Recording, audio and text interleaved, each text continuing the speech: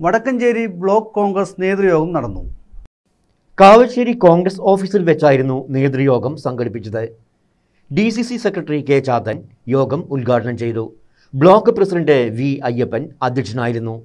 D C C secretary K U Ambujakshan doctor Arsalan Nizam Puthucode ഗ്രാമപഞ്ചായത്ത് president P A Ismail മണ്ഡലം പ്രസിഡന്റുമാരായ K Mohandas Muhammad Ismail C Jayaraj N Ravi M Krishnadas M S Abdul Quddus K Adamkutty എന്നിവർ സംസാരിച്ചു.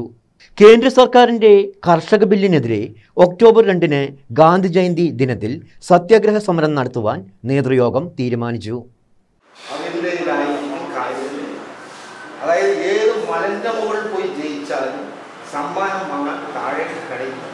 ആ താഴെ കടയിലുള്ളതാണ് പഞ്ചായത്ത്.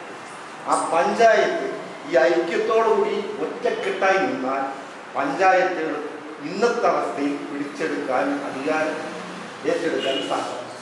ആ പ്രവർത്തനം കാരണം അത്രയും പറയാൻ കാരണം ബ്ലോക്ക് കമ്മിറ്റി ബ്ലോക്കിലത്തെ പ്രധാനപ്പെട്ട നേതാക്കൾ പ്രധാനപ്പെട്ട കാര്യസ്ഥന്മാർ ഈ ഒരു മനസ്സ് കോൺഗ്രസ്സുകാരായ നമ്മൾക്കുണ്ടെങ്കിൽ നമ്മളാണ് കോൺഗ്രസ്. പഞ്ചായത്ത് വിട്ടു പോയി കഴിഞ്ഞാൽ മറ്റുള്ള ഭാഗങ്ങളിൽ കഴിഞ്ഞാൽ താഴെ കടയിൽ നേരത്തെ പറഞ്ഞതുപോലെ